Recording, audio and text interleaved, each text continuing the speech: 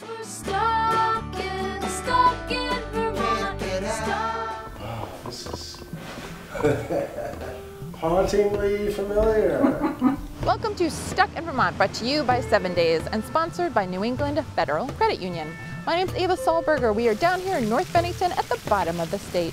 And today we are going to visit some of writer Shirley Jackson's haunts. What you might not know is she wrote many of her famous books, short stories, and memoirs here in Vermont, in North Bennington. when people ask me how to describe her work, I always say she hovered on the fine line between a mental illness and the supernatural.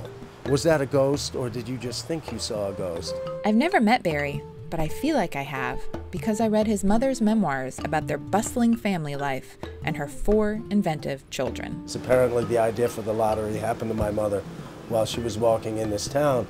I'm in the center of North Bennington at a tiny little park with a fountain. Across the street from me is the library and Powers Market where we shopped for food. And Percy's newsstand was over here. The mail and the newspapers was, you didn't get it from the computer then, so walking out to pick up that paper was important. And then down at the foot of the street was a, a French restaurant called the Rain Barrel. My parents loved it, went there every couple of weeks. So it was just the errands of daily life, a family of four kids, an old house. So the horror of the lottery, that could happen in any town. That's, that's human nature. It's a comment on what people are capable of. If you want to write about human paranoia or human anxiety, you can start with small town life in America in the 50s. 2016 was the 100th anniversary of her birth. The big biography by Ruth Franklin came out. There were other new editions of her books. My nephew Miles Hyman, he did a graphic novel of the lottery. The last collection of unpublished stories came out. There was a musical, there was a ballet. There's a new movie of We Have Always Lived in a Castle. Then you may have just answered why Shirley Jackson is still selling books after all these years. That combination of terror and uh, turn around and laugh at it.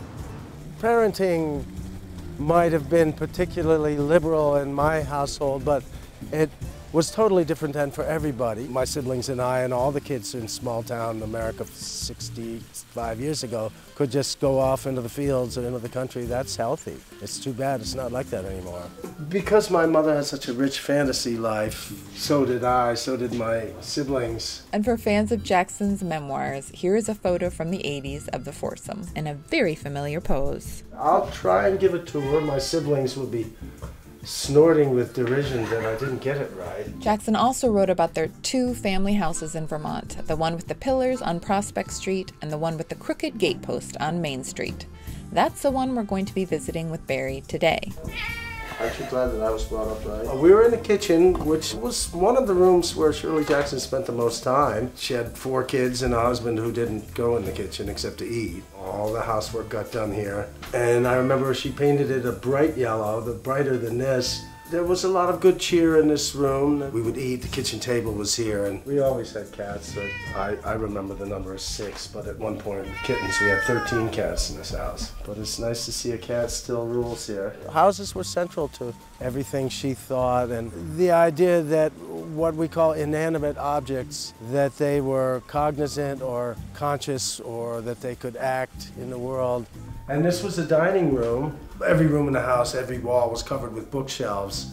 When I was a teenager, we would have our jam sessions right here. I don't know what we called this room, but it was a socializing room. My father's bar was over there. And again, wall-to-wall books. A statue of Athena holding a torch. That was a little controversial for North Bennington in the 50s. This was another room full of books and my father's record collection and his record player. People live in the house and all of their lives at births and deaths. In the old days, people were born and died in the house, and uh, our house made noises. It was probably the furnace, but it certainly sounded like murderers running up and down the stairs. The room top right is where she did all her writing. This was my mother's office. This was the room where she wrote The Haunting of Hill House and We've Always Lived in a Castle. And the sundial, I think, was written in this house and probably in this room and Come Along With Me. This was for at least the last six or seven years of her life. This was where she did all her typing. Uh, this was also the room she died in, actually. Uh, Shirley Jackson died of heart failure at the age of 48. she had a piece of paper on the wall uh, that said from death to life to birth near her typewriter. And she had a lot of photographs of uh, old houses. Her favorites from the collection of ones she'd looked at were all over the walls. And then at least one cat at all times. There was always a typewriter going, it seemed. One was not supposed to bother people while they were typing, no. My father didn't do anything else except for reading and writing and teaching. My mother, of course, did everything else uh, in those days. The, the gender differentiation was taken for granted, and my father didn't know better.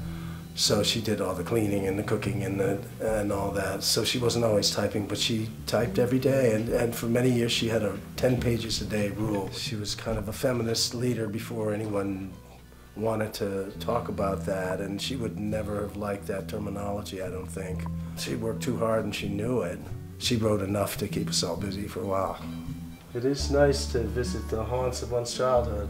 It's fascinating how the images that stick in your head in childhood are, well, those are often the, th- the memories that last the longest. All of this is very familiar and very poignant but pleasant to see it again.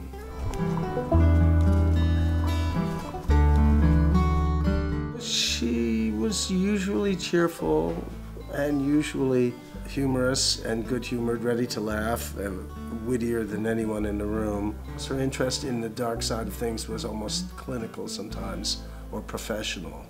She wasn't a lightweight. If you, if you want to tell horror stories, she wasn't scared. She didn't have to go hide under the covers. She went through an unhappy period in a few years before her death.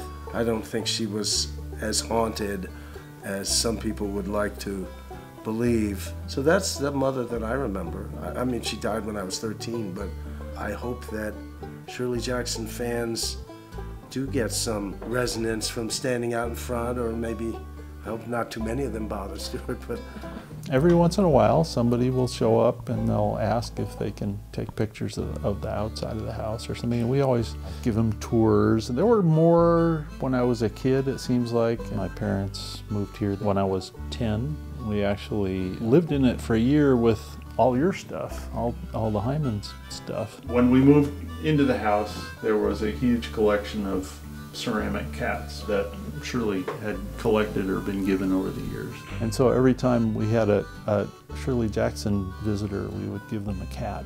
But I don't know if we should put that in the video because Yeah, then everybody's going to be demanding cats. Are, are you the person who gave the ceramic cat to the library? Uh, My father did that. And for Shirley Jackson fans hoping to find some trace of her in North Bennington, your best bet is a visit to the library to meet her ceramic cat. and folks are just enchanted with him. We had a lot of people taking selfies with the cat. People stop in and they'll want to know uh, one, where Hill House is, and then they'll want to know where the two family houses were in town. They're mostly just signed first editions that have gone out a million times. For a long time, horror and speculative fiction was dominated by men and by a male perspective.